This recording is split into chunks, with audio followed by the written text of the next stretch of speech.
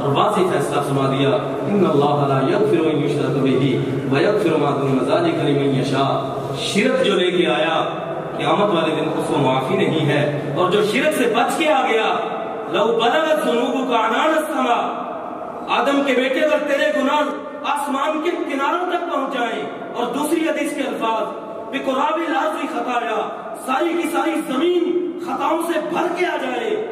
ایک کام کیا ہو ولم تشرک بھی شیا شرک والا گناہ، ان سارے گناہوں کے اندر نہ ہو۔ غفرت لك ولا ابالی، میری رحمت اتنی وسیع ہے، تیرے سارے کے ساری خطاؤں کو معاف کر کے جنت کا داخلہ دے دوں گا اور مجھ سے کوئی پوچھنے والا نہیں ہے۔ لیکن یاد رکھنا، اگر شرک ہوا ان اللہ لا یغفر ان یشرک به، یہ شرک کبھی معاف ہونے والا نہیں ہے۔ اللہ رب العزت سے دعا ہے کہ اللہ رب العزت ہمیں روحانی اور جسمانی بیماریوں سے اور ہر ہر قسم کی آزمائشوں سے، تکلیفوں سے، پریشانیوں سے محفوظ فرما دے۔ الہ العالمین، جتنے بیمار ہیں ان کو شفائی کا ملا عجلہ کا فرما دے۔ الہ العالمین، جتنے پریشان ہیں ان کی پریشانیوں کو خوشیوں کے اندر تبدیل فرما دے، آسانیاں ان کے لیے پیدا فرما دے۔ الہ العالمین، جو مغلوب ہیں مسلمان، ان کو فتح عطا فرما دے۔ الہ العالمین، ان کی نصرت فرما دے۔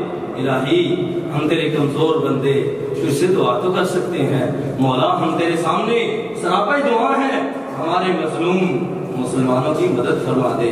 الہ العالمین، ان کی نصرت فرما اور کافروں کو، ظالموں کو، یہود و نصارہ کو تباہ و برباد فرما دے۔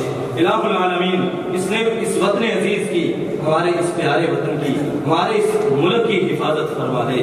الہ العالمین، جو اس کے شر پسند عناصر ہیں، جو اس سے بغض رکھتے ہیں، جو اس سے اناد رکھتے ہیں، جو اس وطن عزیز کے بارے میں برا سوچتے ہیں، الہ العالمین، ان سب کے سب کو تباہ و برباد فرما دے۔ الہ العالمین، مسلمانوں کو جہاں بھی ہوں، اپنے حفظ و امان میں رکھنا۔ اور الہی، جس طرح آج یہ مسلمان، یہ اتنا پیارا گلدستہ، یہ اتنا پیارا جمگٹا الہ العالمین، جس طرح آج تیرے گھر کے اندر جمع ہے، جنت الفردوس میں اسی طرح جمع فرما دے۔ سبحان ربک رب العزت عما یصفون، وسلام علی المرسلین والحمد للہ رب العالمین۔